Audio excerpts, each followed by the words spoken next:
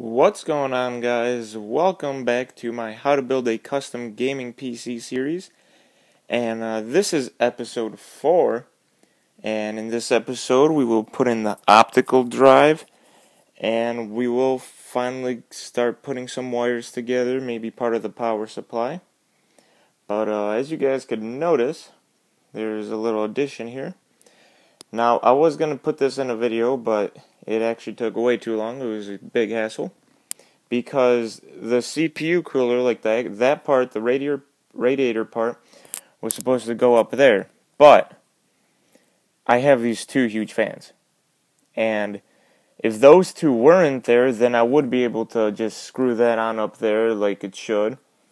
But since I do have those fans there, I can't. So what I did, I just put them here right against these fans and then I will also put the two fans that it came with on this side so that's good. And now that I think about it it would it, uh, it would actually be a lot better because uh, these fans like these bottom well actually all of these fans are sucking cold air in so that would be the best. It would be cooling this the best than if it was up here because these fans are taking the heat out. So that's well that wasn't planned, but now that I think about it, it's a good idea.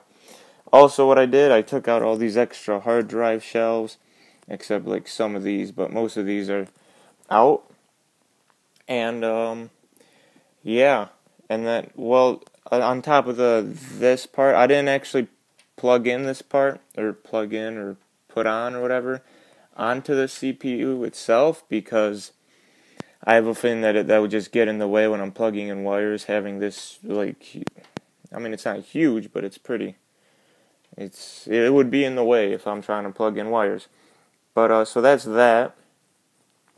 And then uh, I will also have to plug in all of these wires. But for now, uh, we're gonna do the optical drive, which I will put up in this first slot. And uh, so we'll do that right now. So, uh, let's see. We got the optical drive right here.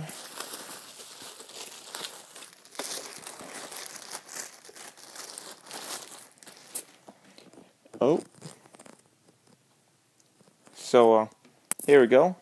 This would be the optical, and that's upside down. That's the optical drive. And so for this, it's not even that hard, really.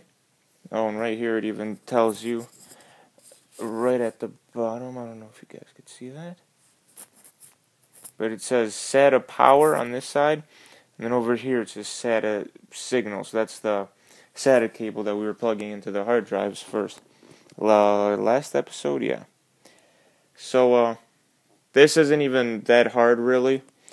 The only thing well, right here, as you can see, these, all the other optical slots, or like slots to put in disc or optical readers like this, have covers, but the first one didn't come with a cover, so you don't have to remove one unless you have two or more, or you are planning to put uh, something else there.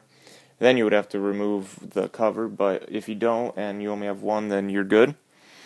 And this is pretty easy. All you got to do just slide it in through the front and push this in. And uh, right here, we have this little part that comes up. So what you want to do is line up the holes that uh, the screw holes, well, they're supposed to be screw holes. Like, let's throw that up there. Right now, it's lined up with this hole right there. So we got that, but this part comes down over in this one, so we're going to have to move it over a little bit. And the good thing about this is that you don't you don't actually have to screw anything in. Like see right there, it's lined up, and then right there, it's lined up. Uh, what's good is you don't have to actually screw anything in, but you could if you want to. You could screw put screws in on a this one up here, and then that one up there if you really wanted to, but you could. This comes in with like a built in system. You just swing it down Make sure it goes into those holes that you just lined up. And then you just want to, I don't know if you could see, but it says lock. So you push this way to lock. And it shouldn't be moving anywhere. Now, if you wanted to, you could use uh, this uh, some screws that came with the case and just put these in there. But uh, that's really all you got to do for that part. And uh, you could you could see that it's uh, the actual drive is sticking out a little bit. That's all right because we do have a cover. Uh, like the front cover comes out probably just as much as this, so it, no worries, it's not going to stick out. Like once you put the front cover on. And uh, so what we're going to do next is uh, hook up the uh, SATA cable. And uh, this is really not that hard either. Just like with the with the memory or the storage, or I mean not the RAM, but the storage, like the hard drives. Basically the same idea. You're gonna line up the hole or the little notches in the cables, and uh, you should be good. And uh, this one, I don't know. It seems like it's shorter, but anyway, what I'm gonna do is take the SATA cable and plug it into that part that's up there that's in the optical drive and uh, just we'll probably run it down through one of these and then have it come out over here again so uh, let's see Alright. This time we're going to plug it in like this. And then I'll have it run through probably this very first one up here. And then have it come out through this one right here. And I'm probably just going to plug in just like the other ones. Actually, I should probably just to have some room, put it up here. And boom. So now I put it up here just so if I have any other cables, I could just easily put it here than having to go on top of the ones. If I filled these up, I wouldn't have to go on top of these first to go up there. But uh, that's that, and I'll be back. And I'm back. And uh, while I was at a break, I guess you could say. I did a lot of things. I mean, not a lot really. It was just plugging in some cables and hooking up some stuff. And the the only reason that I decided not to record it is because you got or whoever's like watching this wouldn't really be able to see it because most of it's like small wires like this. So my my hand would basically be covering most of it. And so what I decided to do, I just did it. I just went ahead and did it, and then I'll just explain what I did now. And uh, so I I attached the fans here that came with the uh, CPU cooler itself, and uh, I hooked those up to here. Now I didn't hook up the actual cooler yet. What I did is that there's a, like a little hold on let's show let's unplug this. And I'll show you guys how it basically works. It's basically a two-way splitter. So you plug in one fan to one and the other fan to the other. And then this part which is base is just like a little three pin uh, plug in and you plug that into uh, I'm pretty sure you'd plug that into where it's a CPU fan. And then there's another cable right here that looks like the main power cable. It's got like seven pins or six or nine. Nine. Looks like yeah, looks like nine. So this looks like the main power cable. So and then this you plug in, I'm pretty sure. I'll double check for this, but I'm pretty sure you plug it in on the motherboard where it says CPU fan. But what I did, I plugged in basically like these have little teeth here too. I don't know if you could see it as well, but like uh, on that angle you can. There's teeth, and so do the this piece. So does this piece right here. So you basically line those up, plug those in, and then same for the other one. So you get this cable. This is the other one. Same thing. Boom. And that's done. So, and then I didn't plug these in yet, like the other two cables that come from here, because I'm going to wait until I hook up the actual part to the CPU, and then I'm going to hook those up. But the other things I did here is, uh, I'm not sure if you could see it, but right here we got the HDMI 3 cable that comes from up here so that's the HDMI 3 cable that comes all the way down through here, and then comes out here, and that's where you plug it into the motherboard. So that wasn't hard at all. You just the only thing that I did really that changed like the appearance, I guess, of it is when when I first got the case, all the cables came together down and came out of this hole down there where you see this red and yellow cable coming out. That's where they were all coming out. And what I just did, I just took um took some of them out, whichever ones I wanted to go out, and then have them come in through like different holes, whichever whichever worked the best for that specific cable. So that's what I did. I plugged in. Here's the USB 2.0s. Both of those, this one and this one. I might have to come in for a closer view probably a better idea. So those two are USB 2.0s. Here there's actually a lot. There's I think that's like power switch and HDD LEDs and uh, there's a lot of stuff on on there. It's like a bunch of small cables.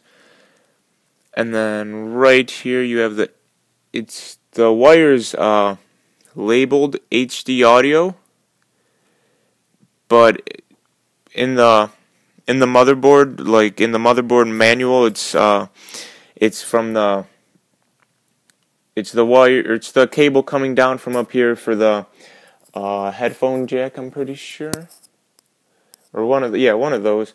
So that's where that came from, and then the other things I did. That fan, there's a a br power bridge for I think the four fans that are right here or not those. those those came with the CPU cooler so that's separate but there's these two that are right behind it and then there are these two over here those those four are connected there uh, that fan and the two up here are connected here along with the side fan that's gonna that I'm gonna hook up last because that's gonna be the last thing I'm gonna put on. And those are all gonna hook up there. Well, I already hooked those up. So, and one of these I kept bundled up a little bit. This one, this fan right here, because it's right there, so I don't need to extend the whole wire for no reason. And uh, this one, I unraveled, have it, I made it come up through here, out of that hole so that there's less space taken up in here and then have it all go all the way through and come back in through this hole. So the only thing that I'm gotta do now, I'm well, other than hooking up that other fan, is uh, putting plugging in the power supply right there, this main big one right there, and uh, after that the fan should be working fine. And then there's the optical drive we just put in.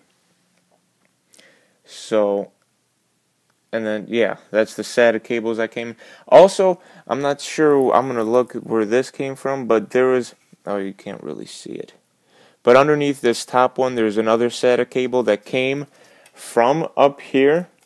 So I want I want to see what where uh, what that actually came from. But there's another one that came up there, so I just plugged it in too. Um, but that's basically that. I just plugged in these cables for the fans, these cables down here. So basically, I plugged in everything that the all the cables that the case came with, except for this power cable, which I'm pretty sure, which I'm going to have to look at again, but I'm pretty sure that this power cable is for when you hit the power button up there because since this power this cable came all the way from up here so I'm, I'm going to look into that but I'm pretty sure that's what it is. So that's going to plug in either to a power sup either to the power supply or it's going to plug into another adapter of some sort that's going to be eventually plugged into the power supply. So yeah and then once we start doing the power supply that's when the cables might get hectic because that's we got a power supply coming in here. That's one big one. There's some I think yep a couple up there. And I think there's one that you put in up through the side over here. And that's just to the motherboard so power supply we're also going to have to go through each of these the optical drive up there and the power from the power from the CPU, I'm not sure exactly. I'm to figure this out too, but I'm pretty sure by the looks of the pin or the plug-in, it looks like you plug it into the motherboard, but I'm to have to check for sure because it might be no. It's it's I don't think I don't think it's the power supply. It's most likely to the motherboard, but I'll check that out just to make sure. But uh so yeah, that's basically all the cables that I did now. Oh, and we also have this one that uh that hangs off the HD audio cable that I plugged in there.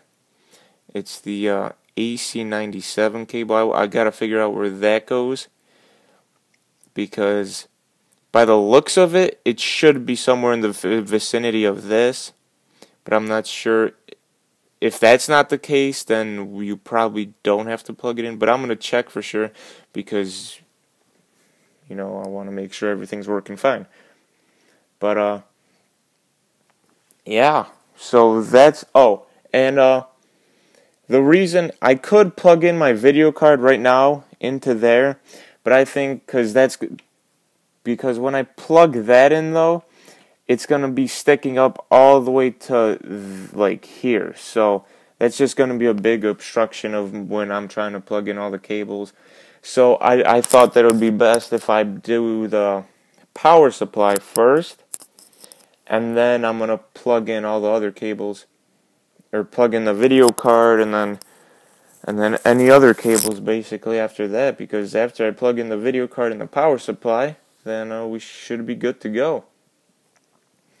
So uh, the power supply and then the power yeah the power so after the power supply then uh, we plug them then we could plug in the video card and that's probably going to be over here and then I'm pretty sure the video card has a couple cables that come from it but that that shouldn't be oh, that shouldn't be a big problem but uh yeah so uh, that's going to be it for this episode uh, if you guys enjoyed the video, click the like button. If you guys have any questions on any of these videos, just put those in the comments below, and uh, I'll try to answer any of them as best as I can. But uh, if you guys enjoy the video, click the like button, and if you guys want to see more of this series or just any of my videos, subscribe. And uh, again, if you guys want to comment anything, any questions, you guys could go ahead and do that. But uh, thanks for watching, and I'll see you guys in my next video.